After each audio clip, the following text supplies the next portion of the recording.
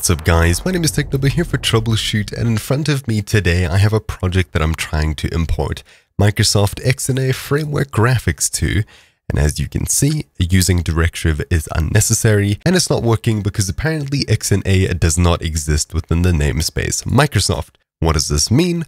Well, it simply means that I do not have the XNA SDK on my Windows PC, for Visual Studio 2019 and the setup process is a little bit more than confusing. However, there is one particular guide that seems to be very useful, which I'll be running through today from a website called Flat Red Ball. Now, as far as I can tell, this is the most complete guide for setting up and getting XNA to work with Visual Studio 2019, and they also have a 2017 tutorial. However, I'll be running through 2019 because we're inside of Visual Studio 2019. So the setup is a little bit long, so grab yourself a cup of tea and we'll be running through it now.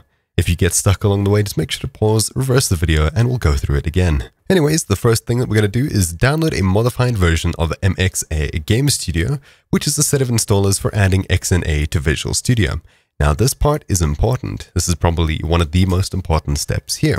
If I were to head into the Visual Studio installer, head into Modify Visual Studio 2019, Individual, and search for XNA, you'd see there's absolutely nothing. If I search for DirectX, you'll see one down here, which is the graphics debugger and GPU profiler for DirectX, which isn't too useful.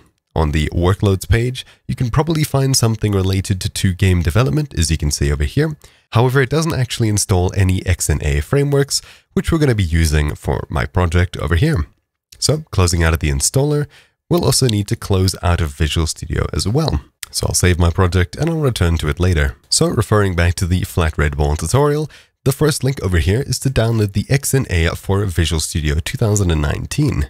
Now it's a zip, and inside of the zip is a folder, and inside of the folder is a group of folders with instructions down here, saying what we need to install in what order. So this process has been super simplified by this tutorial, and I'm just running through it here in case you get stuck anywhere. Obviously from this point, if you're happy following the text tutorial, you're free to follow it here. However, there are a couple of extra things that you need to do that aren't mentioned in the text tutorial. So first of all, I'm going to begin by extracting this to a folder. It might not be necessary, but it's good practice to extract zips before using them. I'll close out of the zip, and we have this folder over here. So step number one, installing DirectX open up the DirectX folder, double click on dxsetup.exe, and it will open like this. I accept, next, next, and we'll wait for it to finish. We'll hit finish, we'll go back a folder, and we'll go into XNA Framework 4.0 redistribution, and we'll open up the MSI file inside of it. We'll hit next, and if you've already got it installed, you have the option to repair and remove. From here, you can probably click cancel if it's already installed, otherwise follow with the installation guide. I'll hit repair just to make sure that everything is set up as it needs to be. Now we have it. I'll hit finish and we're done with step 2. Then step 3, XNA Game Studio 4.0 Platform Tools. I'll open the MSI again, next, I agree, next, and install. I'll then be prompted for admin and after giving it, it'll finish installing. Finish, and we'll go back a folder yet again. XNA Game Studio 4.0 Shared. Open up the MSI, run. Next, I accept, next, install. Hit yes when prompted for admin, and we'll hit finish once it's done. We'll go back a folder again, and one of the last few steps here is to open up XNA Game Studio 4.0.vsix, which is a Visual Studio extension.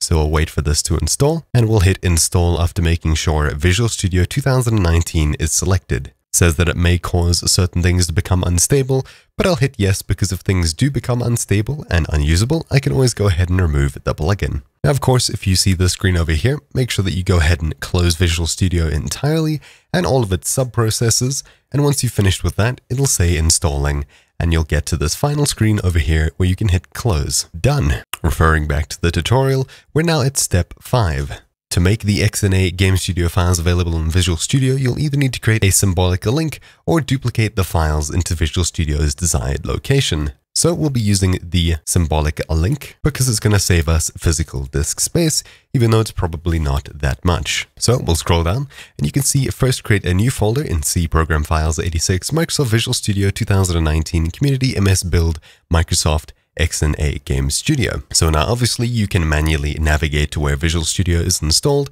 and if you don't have it installed on your C drive, then it probably won't be here. In which case, simply locate a shortcut to Visual Studio 2019, right click, and hit Open File Location and you'll immediately be dropped into 2019 Community Common 7 IDE. However, we're being asked to go into Community MSBuild. So we'll go back to folders and we'll go into the MSBuild folder, followed by Microsoft. And then inside of here, we'll be making this XNA Game Studio folder. So I'll copy this with Control C, new folder, continue, capital XNA, Game Studio, both capital G and S. Then we'll go inside of it. So we'll be creating a symbolic link from this folder over here to Microsoft Visual Studio. So we simply need to navigate to this folder over here, which we've installed XNA Game Studio to. This is inside of our Visual Studio, and we're going to be linking these other files to here. So I'll simply start R and copy paste that link in to open this folder. As you can see, we're on C drive, Program Files 86, MSBuild Microsoft, XNA Game Studio. So to actually create the symbolic link, you can either use a plugin, which I have for Windows, to pick link source and drop it, or you can simply open up command prompt. So to do this, we simply need to press start and type in CMD. Right click, run as admin, and hit yes when prompted for admin. So we'll be creating a link from this XNA Game Studio folder to this empty one over here. So I'll simply copy the URL from this folder with all of the files in it, and we'll type in mklink space slash capital D space inverted commas and we'll paste in where we want to make the link from, which is our empty Visual Studio folder. So we'll paste it in, close inverted commas, space, open inverted commas, and we'll copy and paste this one over here, which has files inside of it, as such, and we'll hit enter. So in fact, that first one didn't work. I had to go ahead and delete the XNA Game Studio folder from inside of the Microsoft folder in Visual Studio. So keep that in mind. That folder shouldn't exist, even though the tutorial says to make it. This is probably one of the reasons that you came to this tutorial in the first place. So after deleting that and running this command again, you can see that the symbolic link was successfully created. If we open up the folder from inside of Visual Studio, we can see that we have all of the files here. So from this point, we can close both of these folders as well as this command prompt. And that's about it. Apparently now we can use XNA Game Studio inside of Visual Studio. So I'll simply open up Visual Studio and head back to the project I was in. So of course it still says that XNA does not exist within the namespace Microsoft. We need to simply right click on our project, go to add, then reference. Then once we see this page over here, at the very top head into assemblies, followed by extensions. Then we'll scroll down to Microsoft.xna framework. Simply hit the checkbox next to it, OK, and you'll see that little underscore disappears, and we've successfully got XNA into Visual Studio. And there we have it, we're basically done. And there we have it, XNA is now fully installed and ready for us to use with our Visual Studio projects. Of course, if you need to add some more of these references, if we head back to the Reference Manager, Extensions, and scroll down to Microsoft.xna, we can go ahead and add more of these as we need them. Anyways, that's about it. Thank you all for watching. My name is Technobo here for TroubleChute. I hope this video helps you, and I'll see you all next time. Ciao.